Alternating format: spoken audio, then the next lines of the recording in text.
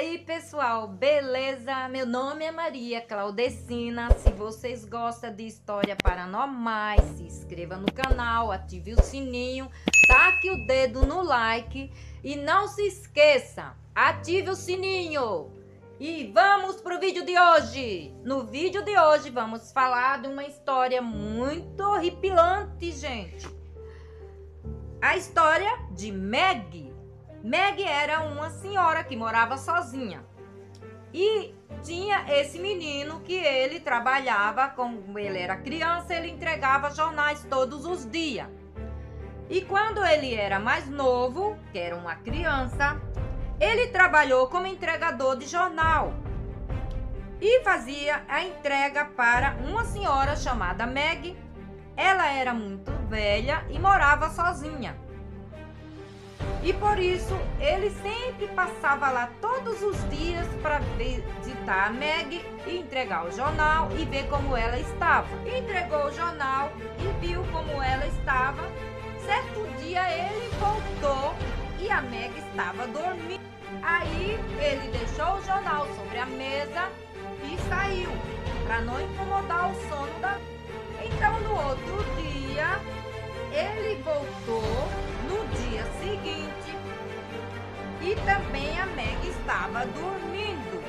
E ele fez o quê? Ele deixou outro jornal junto com outro jornal do dia anterior. Então ele foi embora. O jornal estava intocável, né? Porque ela não tinha acordado, né? Na manhã seguinte, depois, ele entrou novamente na casa da Meg para deixar outro jornal e estava lá a Meg dormindo de novo. E foi, de repente, ele fez a mesma coisa e foi embora. No outro dia, quando ele voltou, a Meg estava acordada.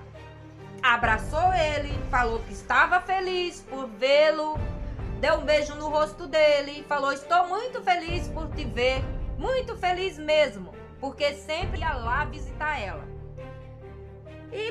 Foi embora. Quando foi no outro dia que voltou, um monte, um monte de carro na porta da Meg e um monte de gente. E foi quando ele perguntou o que aconteceu, então falaram para ele: a Meg foi encontrada morta, dormindo, já faz quatro dias. Aí ele falou: mas não pode ser. Eu entreguei o jornal para ela esses dias. Eu sei que ela estava dormindo os dias que eu vim entregar, uns três dias. Mas ontem eu entreguei o jornal para ela e ela estava acordada. Ela me recebeu, ela me abraçou, ela falou que estava feliz, me deu um beijo. E pegou o jornal e eu fui embora e ela ficou lá acordada.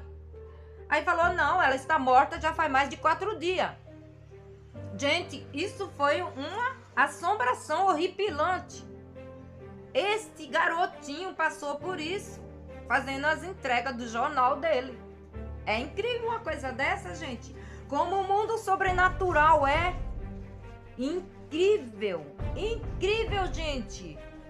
Olha, termino por aqui hoje. Beijão. E tem mais vídeo para vocês, horripilante. Fui!